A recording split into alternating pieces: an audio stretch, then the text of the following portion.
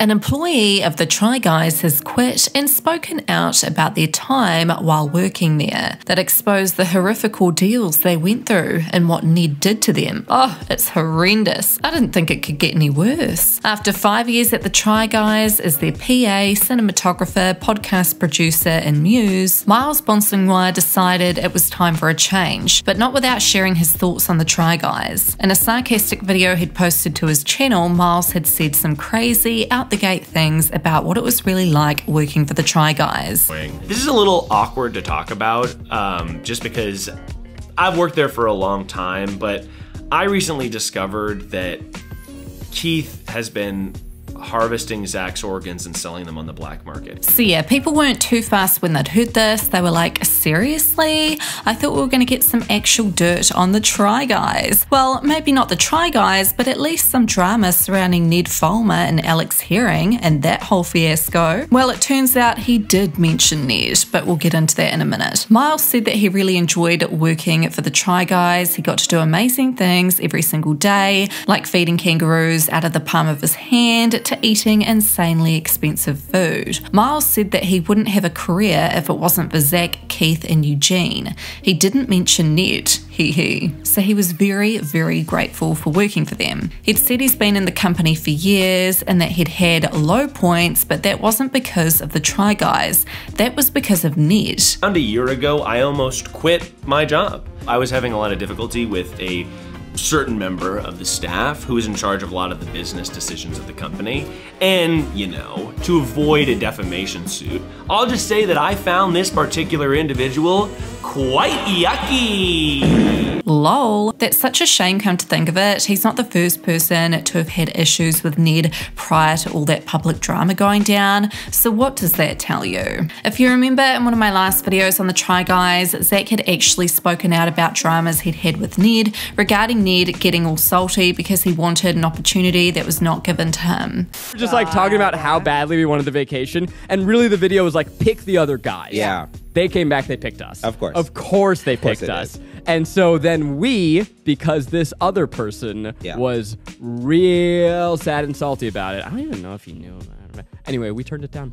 Salty, salty. Then, of course, we can't forget the fact that Ned was sleazing on his co workers, not even co workers, his literal employees. We all remember that drama that went down. And even former employees had spoken out about what Ned was really like to work with at the time, sending anonymous tips into DeuxMoi. One anonymous user wrote in When Try Guys had talks with employees, many said they noticed flirting, knew they had lunch hookups, stayed at each other's places occasionally, and showed up to events together, for example, the Harry Styles concert, and had big feels something was up. So this news has been aware to the Try Guys for close to a month, but what sparked the social media questioning and then uproar a few days back was Will releasing some images of the DMs he'd received on Reddit. Obviously, Ned has been fired. Another anonymous user had said they all knew. Employees are really upset with how the internal review played out. Several people have left and refused to sign NDAs because they're angry at how they were dragged into the drama. The company was going to keep it a secret until the fiance leaked pictures. The internal review was to try and have employees cover his image. The rest of the guys knew he was cheating, just with someone else. The one he was caught cheating with will have a lot to say, and her friends who left the company will be speaking up about how it all went down.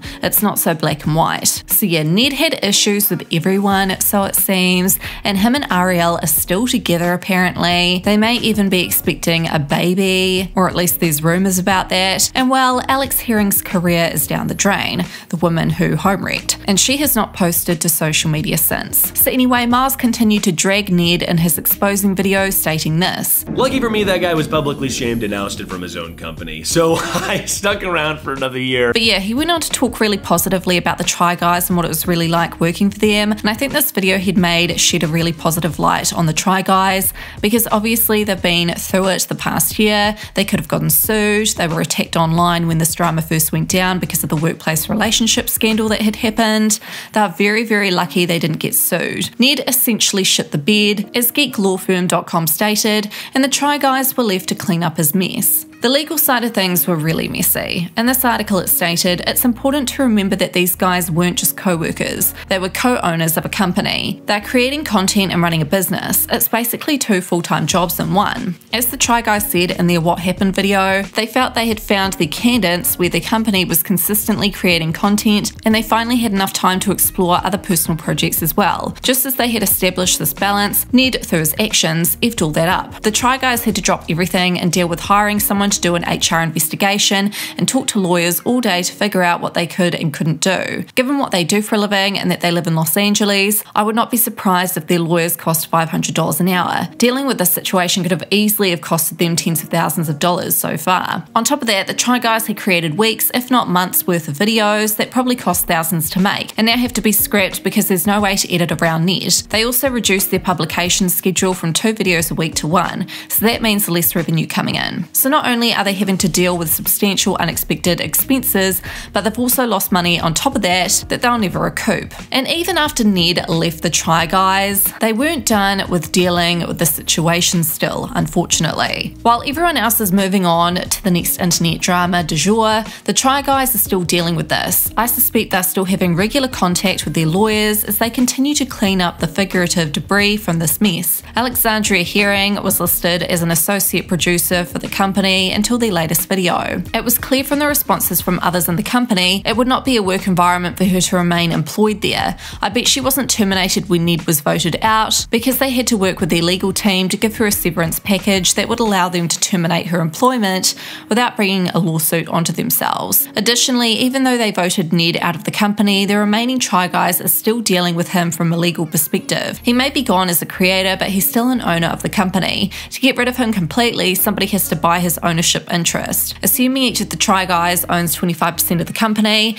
they have to determine what the entire company is worth and negotiate a buy sell agreement to purchase Ned's 25%. Finding a company that performs business valuations and having it done can take weeks, and then there could be weeks of negotiations about the contract's terms, including releases of liability. If I were a surviving owner, I'd want all the costs of having to deal with the Ned situation to be deducted from the purchase price of Ned's share. The only way I can think that would prevent the Try Guys from having to buy Ned out would be if they had an operating agreement in place that said certain bad acts by an owner would result in their owner forfeiting their ownership interest in the company and getting kicked out with nothing. My gut says that that didn't happen in the situation. As of October 28th, Ned, meaning Fulmer Media Inc., was still listed as an owner of the company on the California Business Entity Database. So while Ned is doing his own thing, the other three guys have had to take a lot of time and energy away from what they were going to be doing to clean up Ned's mess, keep the company going in the interim, and probably will have to give him a lot of money to make him go away. Given all this, if I were Eugene, Zach, and Keith, I'd be pretty upset too. Now, going back to Miles's video, he ended up discussing what he was planning on doing going forward from here. Fans were here for the Ned shade and the comments, and were also impressed about what it's really like working for the Try Guys, especially because they'd received a lot of backlash after that scandal last year. Someone commented, I feel like this was the whole point of the Try Guys going off and doing their own thing